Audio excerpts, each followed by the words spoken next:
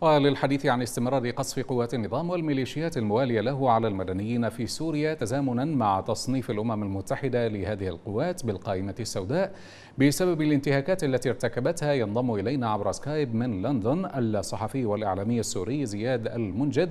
أهلا بك معنا أستاذ زياد. أهلا وسهلا بك وبالسادة المشاهدين الكرام. أهلا بك. بداية أستاذ زياد يعني برأيك ما الذي يريده النظام من خلال قصف مناطق في ريف حماة؟ يعني بشكل أكيد هي استكمال للجرائم التي ارتكبها آه هذا النظام بحق الشعب السوري. نحن نعلم أن آه الأسد الأب والأسد الإبن آه مكلفون بمخطط هو تدمير الشعب السوري وإخراجه من معادلة الصراع مع الكيان الصهيوني. وبالتالي فعندما قامت الثورة السورية وكاد النظام أن يسقط استقوى بالقوات الإيرانية والقوات الروسية. وبعد أن استجمع بعضا من قواه يريد أن يثبت للثوار ولمن يعارضه أنه ما زال يمتلك دفة الصراع وأنه بإمكانه أن يفعل شيئا ولكن للأسف الشديد لولا الوجود الروسي أو الغطاء الجوي الروسي والوجود الإيراني ووجود حزب الله فإنه لا يستطيع أن يفعل شيئا. وأكبر دليل على ذلك أن الكيان الصهيوني يعتدي يوميا على هذا النظام وهذا النظام لا يستطيع أن يفعل شيء. هو يملك القوة لقتل شعبه ولكن لا يملك القوة لردع العدوان عن شعب سوريا من الكيان الصهيوني. نعم ولكن هناك يعني من المفترض أن يكون هناك تهدئة أو هدنة وقف اتفاق لوقف إطلاق النار ويعني حماه كما تعلم من المناطق الخاضعة ل أو التي يشملها خفض التصعيد وروسيا أيضا من ضمن يعني الضامنين. من المفترض أن تكون كذلك. ما قراءتك لهذا؟ يا أخي العزيز الهدنة هي يعني مضحكة بالنسبة للوضع السوري. الهدنة أنشئت بموجب معاهدة سوتشي أو اتفاق سوتشي والاستانا وهناك ثلاث ضامنين. الضامن الروسي وهو حليف الأسد والضامن الإيراني وهو حليف الأسد وهنالك الضامن التركي.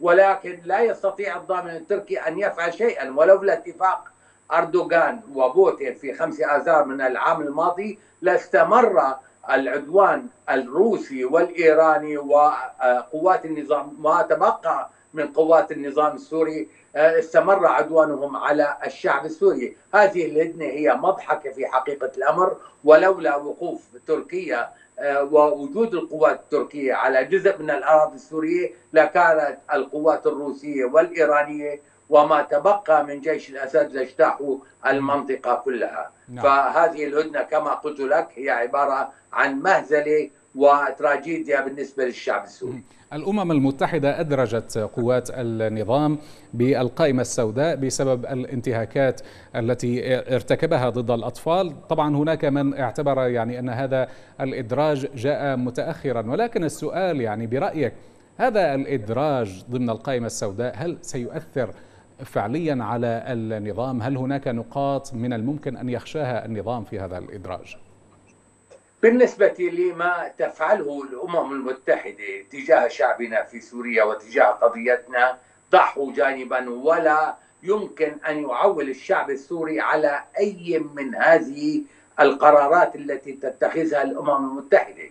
الولايات المتحدة الأمريكية أدرجت جبهة النصرة وزعيمها على قائمة الإرهاب ويوم أمس جيمس جيفري قال إن الولايات المتحدة الأمريكية أو أن الجولاني يتواصل مع الولايات المتحدة الأمريكية، هم يضحكون علينا وهنالك إدراجات وقرارات ولكن ما ما هي النتيجة؟ هل رفع الحيف عن الشعب السوري؟ هل تم وقف قتل الشعب السوري؟ لا كل هذه الأمور لا تعني شيئا وكل هذه القرارات لا تعني شيئا وهي عبارة عن إطالة أمد عمر النظام لاستكمال جرائمه ضد شعب سوريا. بالشأن الدولي يعني كيف تقيم اللقاء الذي جرى بين بوتين ونظيره الأمريكي بايدن خاصة بما يخص يعني أقصد الشأن السوري؟ ولماذا يتم تجاهل النقاط الأساسية لحل القضية السورية برأيك؟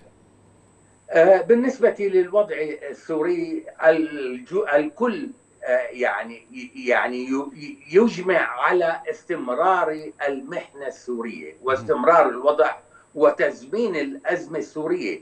عندما يعني تناول بوتين مع بايدن الوضع السوري ناقشوا مسألة المعابر. وهل وهل مسألة المعابر معابر تنهي مأساة الشعب السوري؟ إنهم يعني إنهم لا يفكرون بشيء سوى إطالة أمد النظام عمر النظام واستمرار مأساة الشعب السوري واستمرار هذه الحالة لأنها بالنتيجة ستؤدي إلى تشكيل وضع على الأرض. هذا الوضع على الأرض قد يؤدي إلى التقسيم وهو ما يسعى إليه الكيان الصهيوني بالنسبة لسوريا ولوضعها الجغرافي والديموغرافي. نعم إذا الصحفي والإعلامي السوري زياد المنجد كنت ضيفنا عبر سكايب من لندن. شكرا جزيلا لك. شكرا لكم.